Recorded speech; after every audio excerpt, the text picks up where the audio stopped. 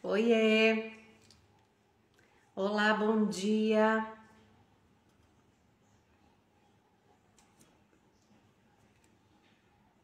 Vamos chegando. Bom dia, queridos, queridas e querides.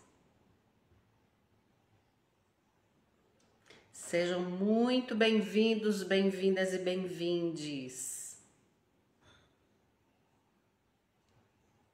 Vamos chegando, meus queridos, minhas queridas. Sejam bem-vindos, bem-vindas e bem-vindes. Bom dia, Júlia. Bom dia, Daiane. Sejam bem-vindas, minhas queridas. Bom dia, Maura. Ei, Estamos aqui com mais um círculo feminino, mais uma roda de bate-papos. Nosso tema de hoje é amor próprio, autoestima. Bom dia, Maria. Bom dia, Neuza. que bom, que bom vê-las. Vamos chegando. Sejam bem-vindos, bem-vindas e bem-vindes. O tema da live de hoje foi sugerido lá no no story por causa do Dia dos Namorados. E aí, namoraram? Sozinhas ou acompanhadas? Vale um presentinho, né, minhas amadas? Vale um presentinho. Eu comprei flores para casa. O tema de hoje, autoestima, amor próprio, um tema tão extenso, né? Mas que vale muito a pena a gente conversar sobre ele. Porque o amor próprio, a autoestima regula as nossas emoções, é uma autorreguladora das nossas emoções, das nossas escolhas, da escolha dos nossos parceiros é uma, é uma parte dentro da gente que vale muito a pena falar, observar e vale fazer o que tem que ser feito para ajustar, né? Porque o amor próprio ele regula o resto das nossas emoções e das nossas escolhas. Vou começar falando aqui da nossa agenda eu estou pensando também em fazer uma enquete para saber se esse horário tá bacana. Eu já recebi mensagens aqui no meu direct dizendo que é muito cedo. Eu gosto desse horário, né? Eu gosto, inclusive, de assistir as lives é, de pessoas que eu acompanho nesse horário, porque é um horário que eu tô acordando, tô fazendo o meu café, aí eu já acordo escutando, né? Mas eu recebi é, recebi mensagens lá no direct dizendo que é muito cedo.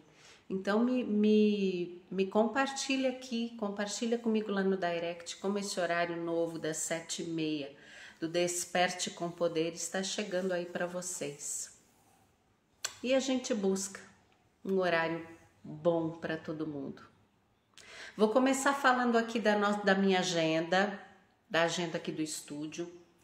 Próximo evento que temos é o Retiro Tântrico para Mulheres, Poderes do Feminino, dias, dias 30 do 6, 1 e 2 do 7. Júlia dizendo: para mim é bom fazendo café. Ai, não é uma delícia a gente fazer café escutando, digitando? Eu também gosto. Obrigada pelo retorno, Júlia. É, Poderes do Feminino, dias 30 de junho, 1 e 2 de julho, daqui a 20 dias, né? Um pouquinho menos.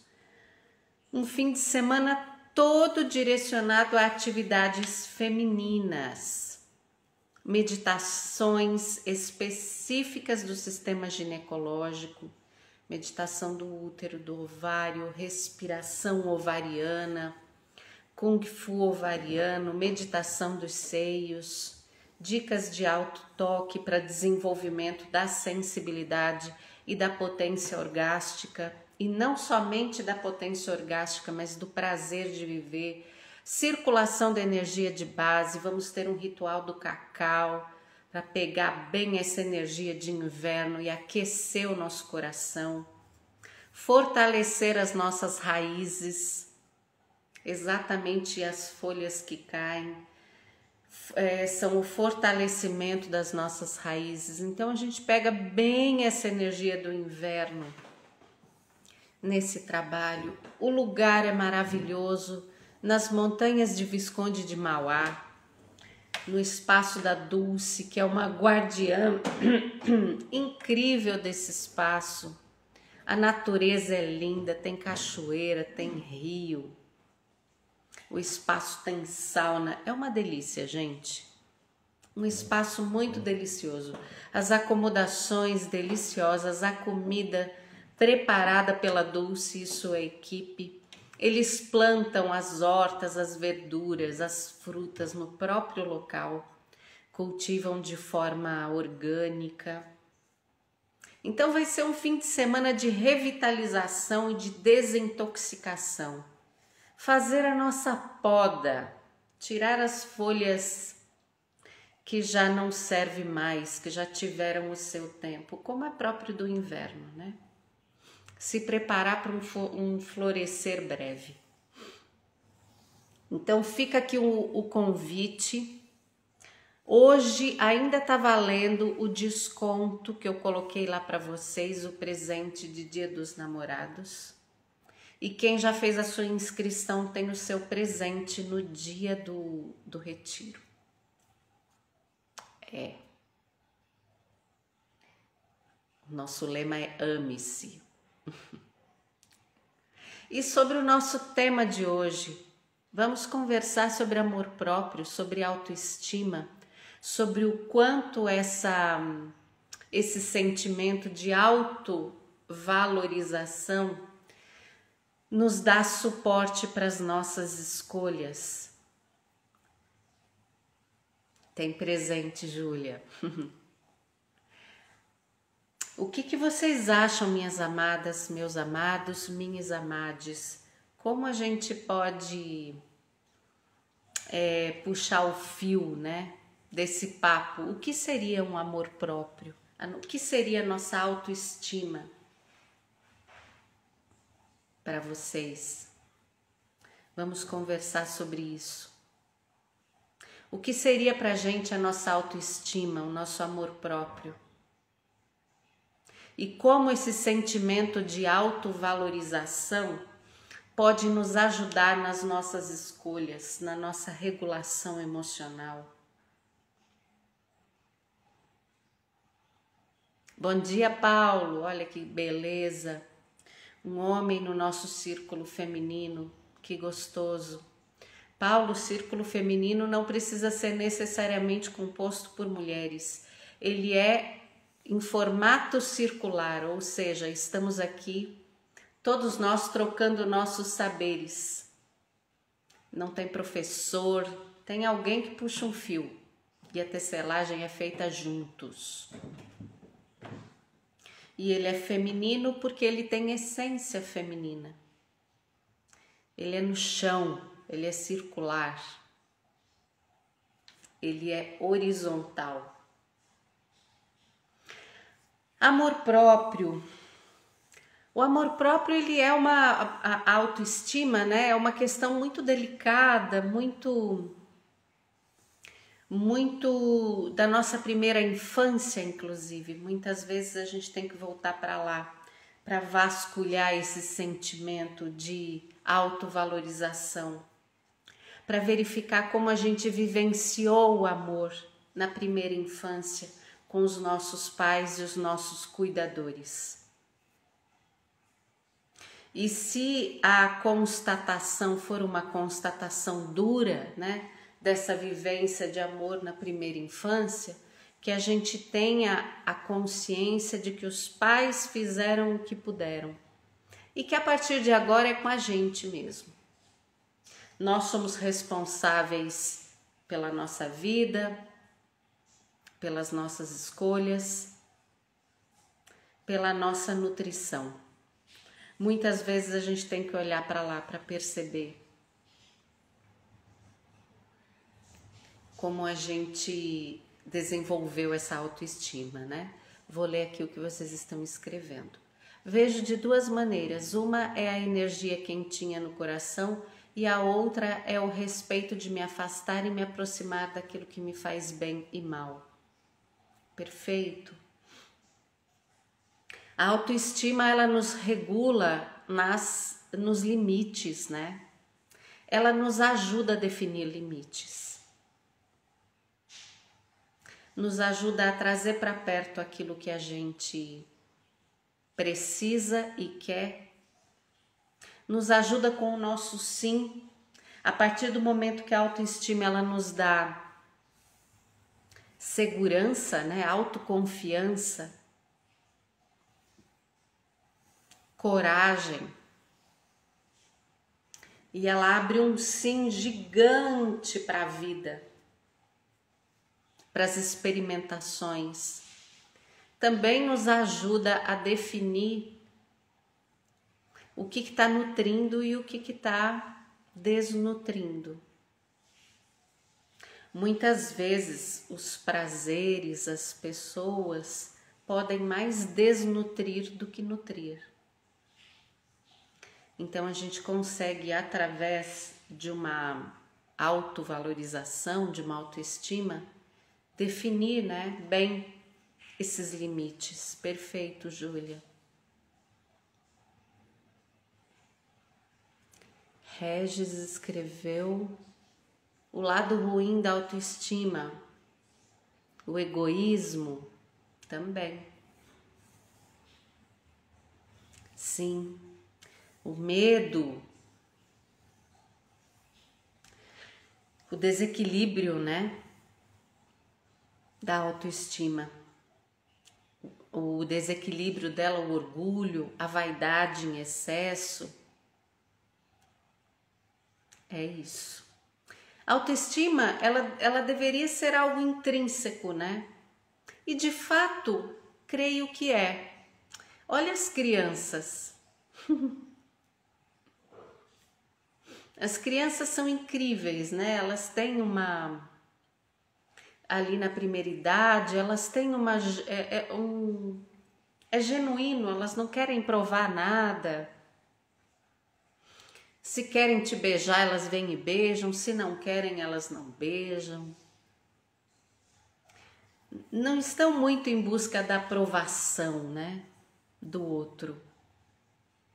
São muito genuínas. Então acredito até que essa autoestima seja algo muito intrínseco de nós, seres humanos. Mas à medida que a gente vai recebendo as influências do mundo, da educação, fala baixo. Muitas vezes a gente força as crianças a beijar, falar oi, né? Seja boazinha. Senão eu não gosto mais de você. Seja boazinha, senão eu te deixo aí sozinha. Aí a gente, a gente o, o externo começa a interferir nessa autoestima genuína que nascemos com ela. E aí a gente começa a entender que precisa ser isso ou aquilo para ser, sermos aceitas no mundo, para sermos queridas, amadas, para não ficarmos só. Uma vez eu passei por isso, sabe? eu estava com uma criança da minha família e ela começou a fazer uma birra muito grande e a pessoa me disse: "Deixa ela ir sozinha". Eu falei: "Nunca. A adulta sou eu. Quem está no adulto resolve. Não tem certo ou errado. Quem tem que dar contorno na situação sou eu, não uma criança de três anos. Não deixe uma criança sozinha, porque ela está fazendo birra. Sentei e esperei. Ela parou de chorar.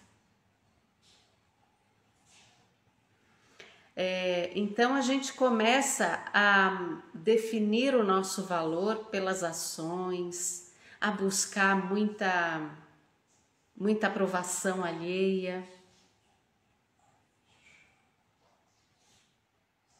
Muitas vezes crianças com funcionamento diferente não têm é, sustentação na escola para poder se desenvolver de forma diferente, né? As crianças com TDAH, por exemplo. Então, a nossa autoestima começa a receber as influências externas, não é mesmo? Quem aqui já escutou? Vou te deixar sozinha. Quem aqui vou fazer uma pergunta? Quem aqui na infância se sentiu, né? Lembra de alguma situação que tenha se sentido desregulado, desregulada, com medo, gritando? Escreve aqui para mim. Escreve aí, eu. Quem na infância teve a memória de se sentir desregulado, desregulada, com medo, com o emocional desregulado? Vai escrevendo. Dá um delayzinho, né? E aí, eu. Pois é, a gente tem essas memórias onde na infância nos sentimos desreguladas, com medo. Aí, dessas pessoas que já se sentiram desreguladas, com medo na infância, quem teve um adulto ou um cuidador que conseguiu dar um contorno para isso.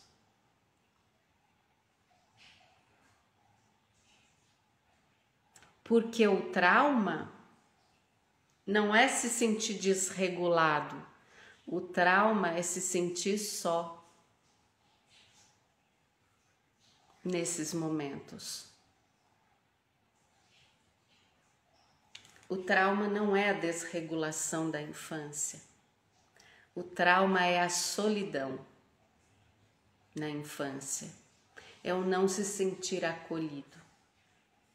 Então, muitas vezes, para que tenhamos uma autoestima curada, humanos não, mas tive amparo do plano espiritual. Perfeito, Júlia. Você, muito criança, já sentiu esse amparo espiritual. O que não é muito, o que não costuma muito acontecer, né? Quando crianças a gente ainda não tem essa essa percepção do que é amparo espiritual. Mas que bom que você teve. Então, o trauma, né, na infância não é se sentir desregulada, com medo, fazendo birra. O trauma é se sentir sozinha, sozinho. Então, muitas vezes, para fortalecer esta autoestima, este sentimento de confiança, a gente tem que fazer trabalhos com a criança interior, com o acolhimento. Acolher essa parte da nossa infância e através deste acolhimento acolher a adulta que somos hoje, porque o acolhimento, eu estava comentando disso ontem, o acolhimento, a aceitação, ela é uma parte de Deus dentro da gente, é divino. É muito grandioso. É muito grandioso, né? Tudo que é de verdade grandioso é acolhedor e não tem distinção. Eu falei isso, no, falei numa outra live. A cachoeira não faz distinção. Ela banha o ladrão, banha o honesto. O mar não faz distinção, banha o homem, a mulher. O sol não faz distinção aquece ou queima a pele do violento, do paciente. Então o acolhimento ele é uma, uma, uma, uma sensação, né? A sensação de acolhimento é uma sensação que coloca a gente no lugar, que traz uma, uma sensação de pertencimento, de autovalorização, de merecimento. E esse acolhimento tem que começar com a nossa criança e conosco mesma, não é? O que, que vocês sentem a respeito disso? Escreve aqui para mim. Muitas vezes, para desenvolver esta autoestima, a gente tem que acolher esta criança e a gente tem que acolher a mulher que somos. Deixar de lado a vontade de ser perfeita.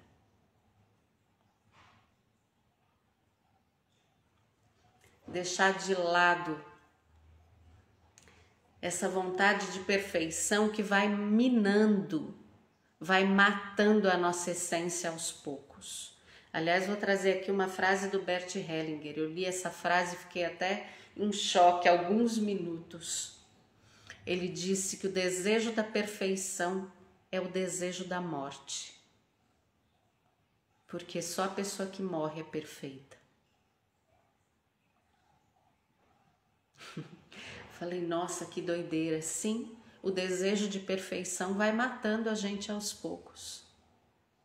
O desejo da perfeição traz a vergonha, traz o medo de não ser perfeita, traz uma repressão na, na nossa comunicação, na nossa forma de viver.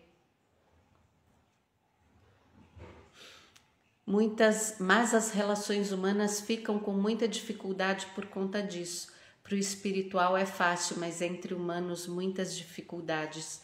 Você deve estar falando do acolhimento, né? Sim, a gente é, não consegue fazer esse acolhimento, talvez pelas, pelas nossas próprias projeções, né? A projeção do perfeito. O acolhimento é, é uma coisa muito grandiosa.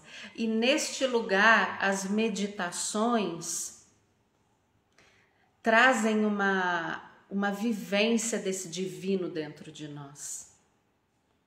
Essa gratidão de viver. Eu não sei, eu não sei como, mas uma vez eu estava comentando isso com numa experiência que eu tive com psilocibina, né? Com, com os, os cogumelos, que não sei se vocês estão acompanhando por aí, é o futuro da psiquiatria, né?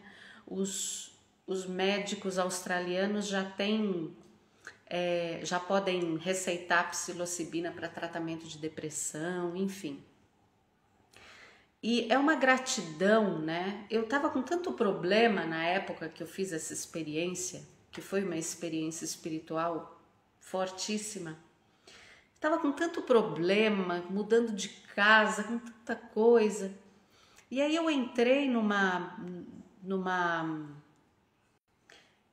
numa experiência interna onde eu saí com tanta gratidão, eu falei que coisa, não lembrei de nada dos meus problemas, não lembrei das contas para pagar, não lembrei da casa que eu tenho que montar, do móvel que eu tenho que comprar, não lembrei, não lembrei. Então elas só existem nesse plano mesmo. A meditação ela ela traz esse estado de pensamento vazio ao ponto de você sair com uma gratidão tão grande e com uma confiança tão grande que tudo dará certo. Esse estado de gratidão, né, reforça muito a nossa autoestima e a nossa autoconfiança. A meditação faz isso. A meditação abre este contato com o espiritual. A meditação abre esse, esse, essa mente vazia de problemas. Aos poucos, ela vai tirando esses pensamentos obsessivos, ao ponto de você chegar num estado de gratidão e de beleza da vida, onde é impossível não ter gratidão. Alguém já teve uma experiência assim com meditação, com rituais espirituais, com medicinas da floresta? É incrível. Né? E por mais que eu fale aqui de acolhimento, de estado de gratidão e dessa parte que é Deus dentro da gente, essa experiência só é possível na vivência. Então, não tem como explicar. Tem uma frase muito bonita, não me lembro de quem, de algum filósofo que diz que as coisas muito importantes a gente não pode ensinar nem explicar, mas a gente pode aprender. Só vivenciando mesmo esse estado de verdadeiro de, de mente vazia e de gratidão a gente se sente pertencendo, pertencendo com a natureza, se sente sendo uma com a natureza. E este estado de pertencimento muitas vezes regula a nossa infância toda. A gente volta para lá para fortalecer essa autoestima e esse estado de pertencimento. Muito, é meu refúgio quase diário, estado de fusão com a luz. É, e essa fusão dita aqui pela Júlia, muitas vezes até com as minhas, com o meu lado mais obscuro. Porque esse estado de aceitação que estamos falando, de autoaceitação, também engloba esta fusão com as nossas limitações, com a nossa sombra, né? Não dá para um gato latir. Quando a gente tem consciência de que a gente é o que é e que por mais que a gente melhore, se desenvolva como ser humano, existe uma parte de nós que precisa de fato aceitar esta fusão com as nossas potencialidades e com as nossas limitações. A partir de, desta aceitação, a gente consegue desenvolver um amor próprio uma autoestima muito verdadeira. Sair desse estado de, de, de, busca de perfeição que nos mata aos poucos, que mata a nossa expressão, a nossa individualidade, a nossa alegria, os nossos defeitos. Sair desse estado de busca de perfeição entrar nesse estado de gratidão, de aceitação profunda do nosso ser, profunda das nossas limitações, do ser humano que somos, da história que tivemos. A partir daí a gente consegue desenvolver uma autoestima, uma autovalorização e uma autoconfiança.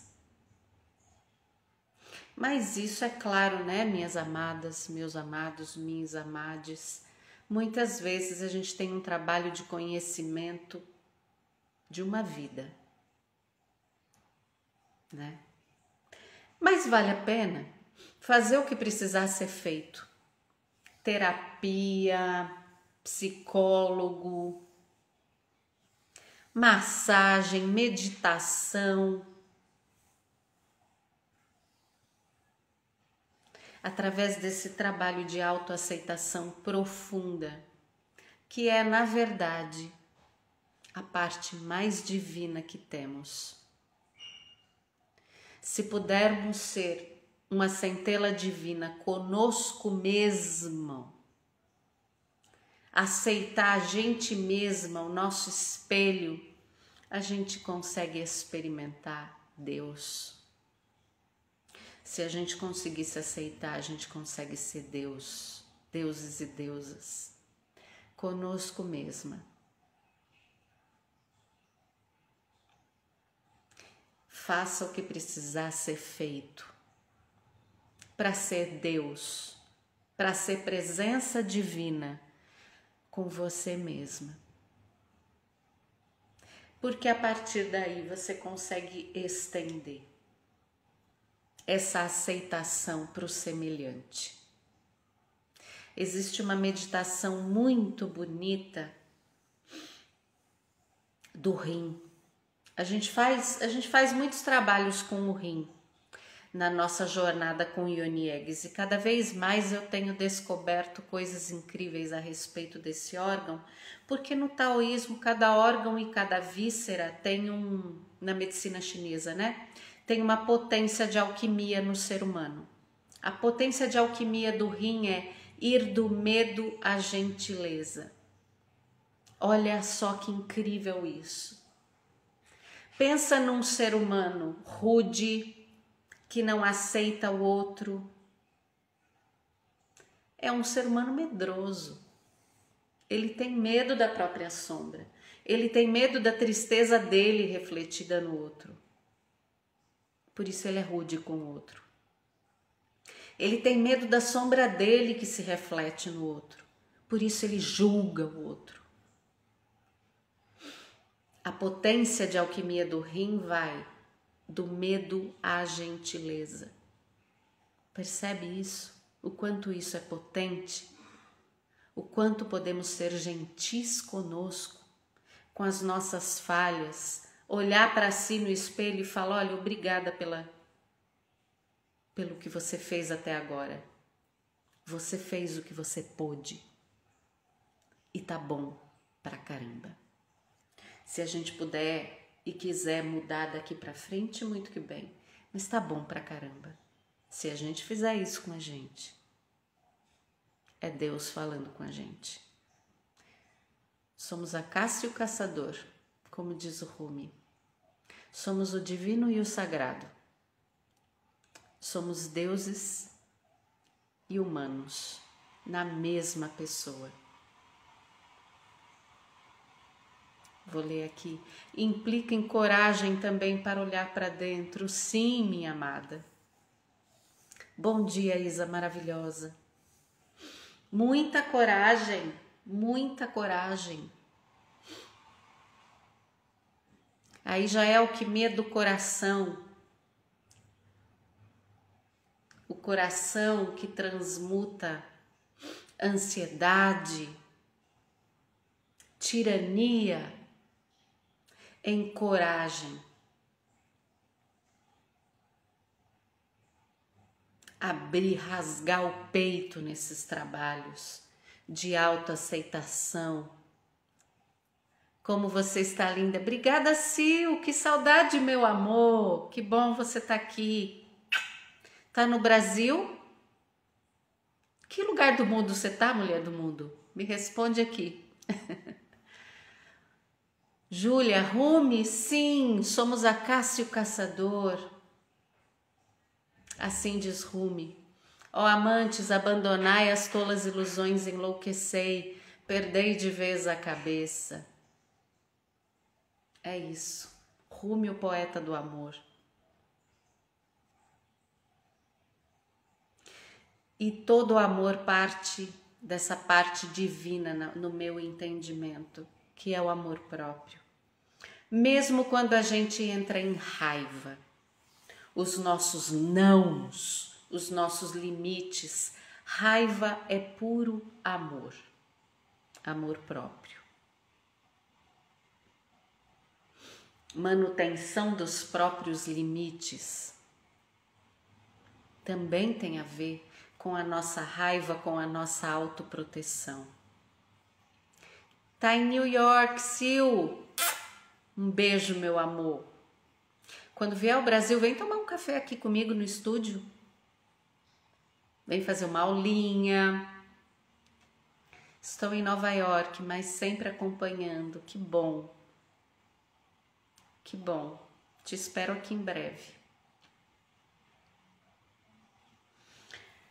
É, então, para manutenção, para o fortalecimento dessa autovalorização, dessa autoestima, para mim tem a ver com a esquecer de vez essa coisa da perfeição que vai nos matando aos poucos, abraçar mesmo as nossas limitações, as nossas sombras, corajosamente. Algumas coisas a gente consegue mudar, outras fazem parte do nosso ser, da nossa história, da nossa infância. Tem a ver com gratidão e eu experimento, como eu já falei para vocês, uma sensação de gratidão incrível, divina, acolhedora, pacífica nos trabalhos de meditação, nos rituais com medicinas da floresta.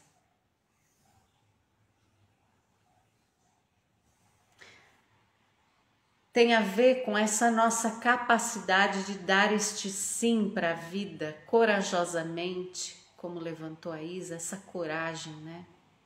De olhar para dentro, de desenvolver essa autoaceitação que para mim é a fusão do humano e do divino dentro de mim. Quem me aceita é a minha parte divina porque Deus não faz distinção. A Bíblia também diz isso, né?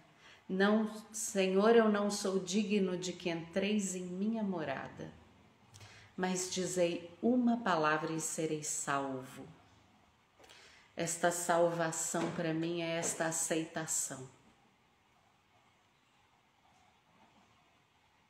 Esta palavra para mim, hoje, nesse momento, pode significar ok Eis-me aqui. Luz e sombra não dá para separar.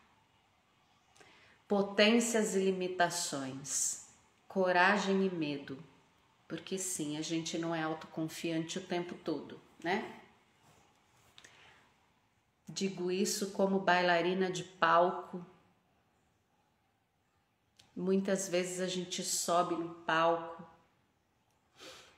ou pega um microfone para conduzir uma meditação e a autoconfiança está lá no pé. Ok. É a minha parte humana. É humano sentir medo, ter limitações. E é humano trabalhar em cima dessas limitações para ser o melhor que eu posso. A partir desse sim, a gente começa a desenvolver os nãos, né? Como falamos aqui, os limites, não se envolver em relacionamentos abusivos, sejam eles quais forem. Olha, teve uma época aqui, especialmente depois da pandemia, muitas mulheres buscaram o trabalho com Ioni Eggs, é, trazendo à tona essa questão do relacionamento abusivo é uma coisa que acontece muito com, conosco, com, com as mulheres ainda. Exatamente porque esses relacionamentos refletem a, as nossas projeções e a nossa falta de limites. E a gente precisa falar sobre isso, sem julgamentos. Ninguém está aqui para te julgar, né? Mas sim para apoiar para suportar, dar suporte. Eu adoro essa palavra. Dançando, dançando nas ruínas do meu coração, assim que me sinto. É, muitas vezes. Autoestima para mim também, essa autoconfiança tem a ver com o perdão, com o perdoar-se. Muitas vezes a gente se julga, né? Como pude? Ah, que não tem como pude na vida, não é mesmo? Derrubei meu café aqui. Quem não tem um como pude na vida, não é mesmo? Ou vários? não é? Quem aqui tem vários como pudes? Escreve aí. Eu. Putz, aquele momento que você fala, ai, como pude. Como pude aquele relacionamento. Como pude. Já foi. Tchau, já fui. Auto perdão, autoaceitação e a partir eu, ó, bom dia Patrícia. Eu, ó, todo mundo tem um como pude. Eu. como pude. Aqui em casa eu brinco que aqui eu resolvo tudo com vinho. Chega alguém aqui, alguma amiga, ai amiga, como pude. Pera, muitos. Eu vou lá, abro um vinho e falo: senta, toma um vinho. É isso, faz parte da vida, faz parte da história. Vamos ficar agora com um chicotinho dizendo: ai, como eu sou. Não, sinto muito, já fiz o que pude. Não é nem o que quis, o que pude.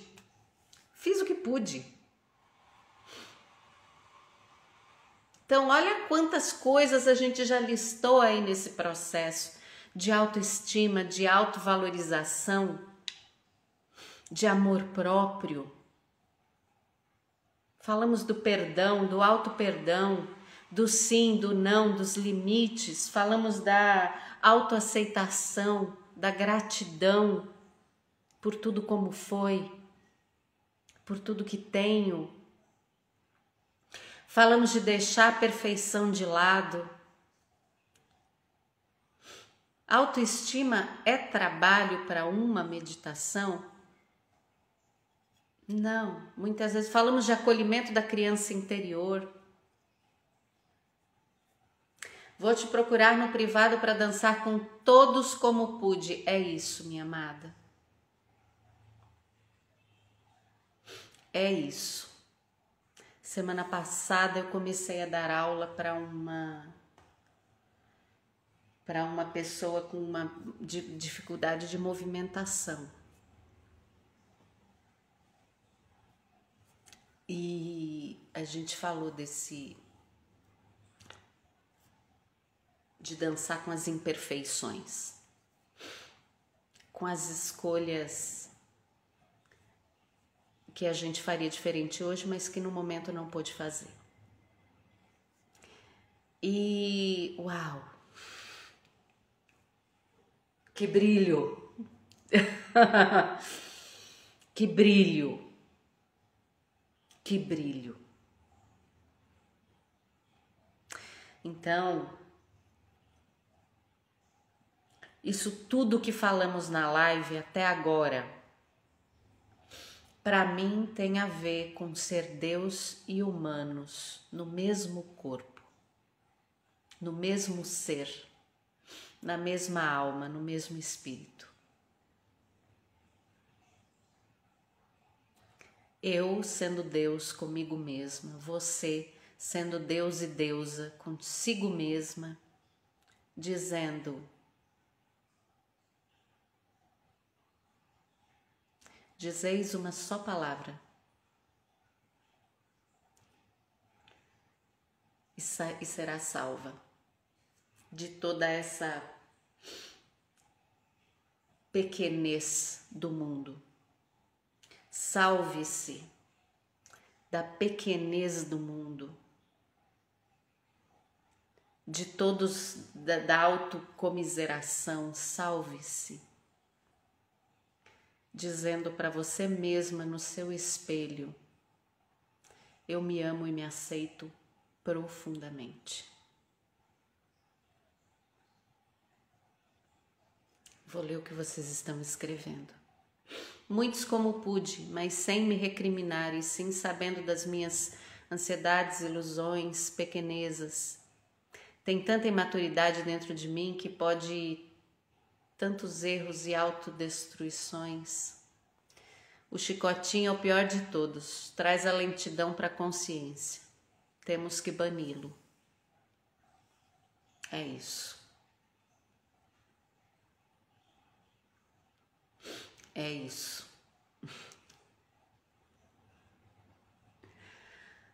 Só tudo isso para nossa autoestima, não é? Mas tá tudo junto e muitas vezes tudo isso vem como um raio numa meditação, porque tempo tempo é um conceito nosso, né, desse plano. Muitas vezes a gente faz uma meditação, entra num ritual, tudo isso desce na nossa no nosso ser como um raio e a gente fala: "Ah, entendi. Agora entendi. Não sei nem o que eu entendi, mas eu entendi tudo." o entendimento é tanto, é de tantas coisas que você não sabe nem o que entendeu, mas você entendeu. Tô sendo muito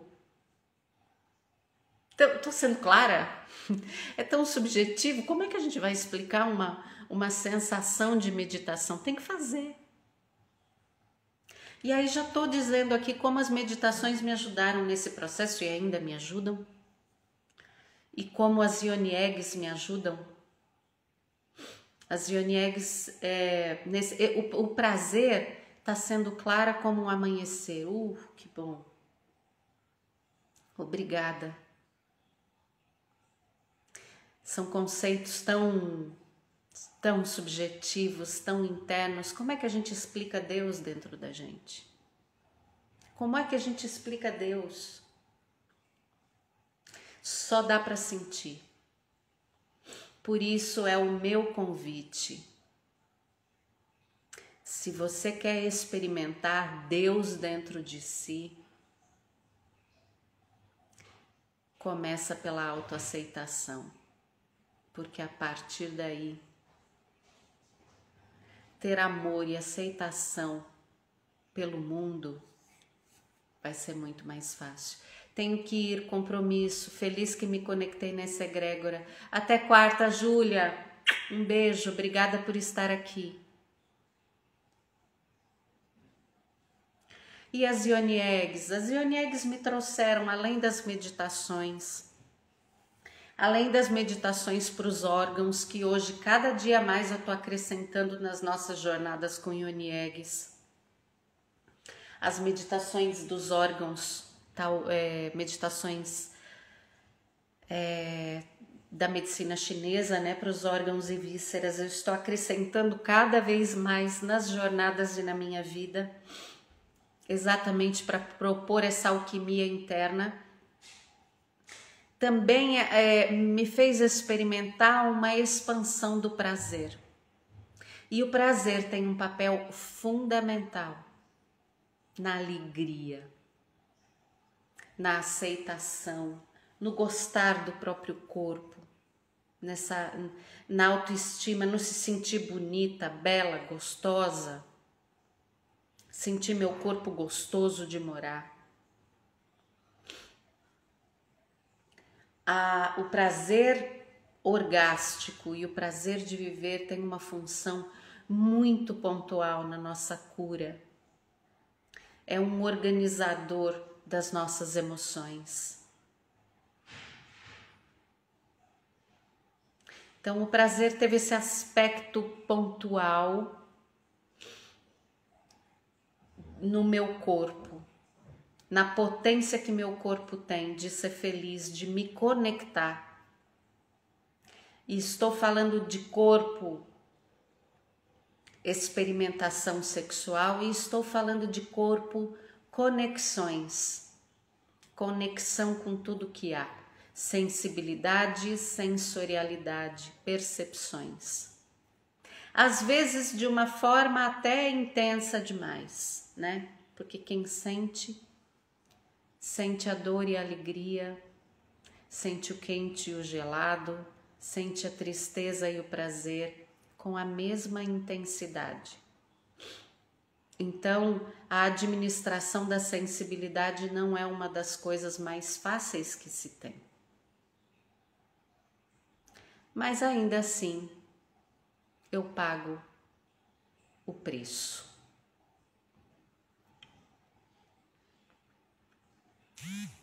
Me custa caro porque é caro no sentido de precioso. Vânia, você não tem noção onde você nos toca e como a sua maneira de falar cura as nossas feridas.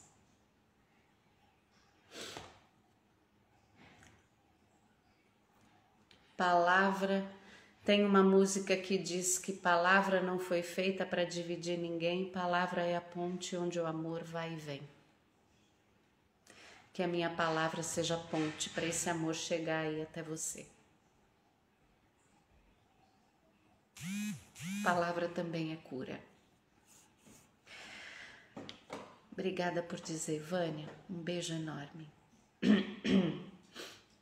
E que bom que chegou aí.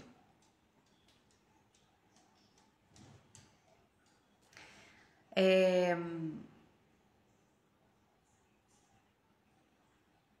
Olha só que beleza, gente. Vânia trouxe a questão da palavra, né?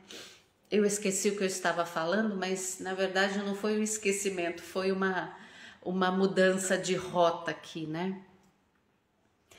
A gente estávamos falando da, da alquimia da, do medo à gentileza, né? Muitas vezes, quando a gente tem medo de falar e de se expressar, a gente perde essa ponte, Vânia a gente perde esta ponte maravilhosa de amor, de sim para a vida e de não, quando não se faz necessário. Isto também tem a ver com autoestima e autoconfiança. A capacidade de se expressar de forma clara, gentil e amorosa. Isto também é um trabalho interno meu. Porque quem tem amor na fala tem tudo, inclusive a raiva. É por isso que eu digo que o desenvolvimento da sensibilidade ele é caro no sentido de precioso e ele é caro no sentido de há um preço a pagar. Tudo pode, mas tem consequência. Eu pago as consequências, vou ler o que vocês estão escrevendo. Quero compartilhar como você me ajudou na aceitação de cortar o cordão umbilical. Hoje vivo em paz com a distância entre minha filha e eu, mas nunca estivemos tão próximas. Você foi uma ponte para essa paz interna. Ai, minha amada, eu me lembro.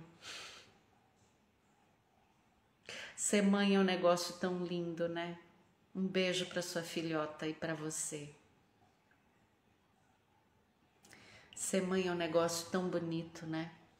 é uma doação tão intensa, é uma fusão tão intensa e essa separação.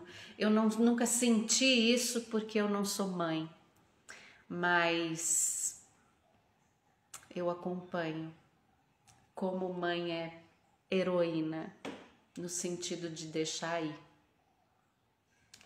Obrigada por dizer isso. Perdi a hora. Lunai, meu amor, bom dia. Tu perdeste a hora. Eu sinto sua falta quando você não vem. A gente troca tanto. Seja muito bem-vinda. Que bom que você entrou. Chega sempre, que bom, Vânia. Obrigada por compartilhar tantos ensinamentos. Manu, obrigada por estar aqui, por costurar com a gente. A live é nossa, preciso ir. Beijo, Patrícia. Beijo no coração. Na tarde entrarei em contato para dançar. E te espero. Vem dançar, meu amor. Também sinto. A gente está acabando, Lunai, mas está em tempo de dizer um bom dia. Muito aprendo contigo, amada. Suas meditações têm me levado e o uso das Janiegues tem me acalmado, me centrado e me ensinado sobre minha feminilidade. Gratidão infinita. Gratidão, meu amor. Isa maravilhosa. Isa, sem, você tá fazendo. Sabe que eu comprei um poncho seu sem saber que era você que tinha feito. Vou, vou, gente, a Isa tá fazendo uns ponchos maravilhosos. Ela faz barras de cereal, faz um processo artesanal. Entra lá no perfil dela. Comprei um poncho seu sem saber que era seu. Depois que eu fiquei sabendo, olha como você chega. Eu fiquei super feliz quando eu soube que tinha sido feito por você. Chegou aqui. Um beijo. Também aprendi muito com você naquela experiência das pedras, de carregar pedras. Eu tenho até hoje, eu conto essa história, conto muito essa história aqui nas, das minhas experiências. Minhas amadas, a live tá acabando, o tempo tá acabando.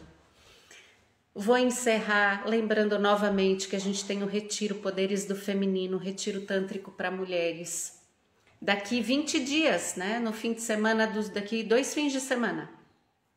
Nos dias 30 de junho, 1 e 2 de julho, um retiro só para mulheres, movimentação de energia, alquimia interna feminina, órgãos e vísceras, meditação do útero, ovário, respiração do ovário, kung fu ovariano, meditação dos seios, meditações próprias do sistema ginecológico, meditação Kundalini. Nas montanhas de Visconde de Mauá, a Tere, Teresa, né? Nas montanhas de Visconde de Mauá. Visconde de Mauá é uma cidade de fácil acesso porque ela fica na divisa de Minas, Rio e São Paulo. E da semana que vem já vamos montar um grupo de caronas com todas as participantes. Lá a gente vai compartilhar como chegar de ônibus, como chegar de carro, vamos poder oferecer e pegar carona com as mulheres do grupo. Então, além de ser perto, deve dar umas duas horinhas, duas horas e meia, três horas de São Paulo. Mas a gente escolhe lugares afastados para o retiro exatamente para a gente ter um tempo só para a gente, sabe? Porque nós mulheres somos requisitadas o tempo inteiro, né? Marido, filho, trabalho, quando a gente vai para um lugar desse, no meio das montanhas, com cachoeira, com rio, o espaço da Dulce, que é um espaço delicioso. Ela e a equipe dela fazem a comida, eles plantam, colhem tudo no local. Acomodação deliciosa, um salão maravilhoso para fazermos as nossas práticas.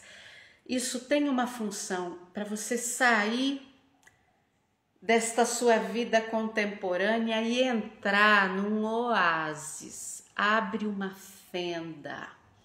Vai para o seu descanso, para o seu autocuidado, e inclusive o tema dessa live é exatamente a respeito do que a gente busca fortalecer nesse retiro.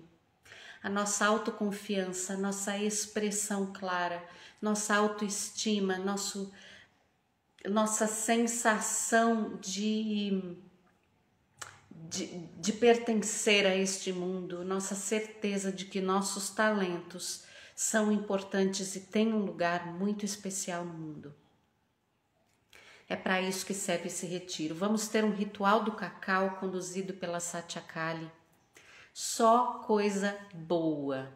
Bom dia, pousada. Ah, bom dia, deusa. Você tá bem? Um beijo enorme para você. Estamos encerrando a live, mas ainda estamos em tempo de dar um bom dia. Então, dá tempo ainda, vem para o nosso retiro, entre em contato comigo aqui ou no WhatsApp e vem para o retiro. E hoje ainda está valendo o desconto de Dia dos Namorados. Ame-se. É a nossa é o nosso lema namore-se. Porque se você for, se for possível para você, para mim, para todas nós, praticar esta aceitação interna, a gente tem Deus dentro do coração.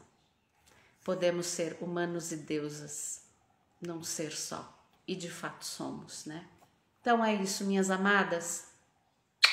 Um beijo enorme para quem chegou agora. Assiste a live, comenta aqui embaixo o que, que você acha, o que, que você sente de amor próprio, o que, que você sabe de amor próprio, de autoestima, que a gente continua a conversa. Cris, vem, te aguardo. Um beijo grande para vocês. Obrigada.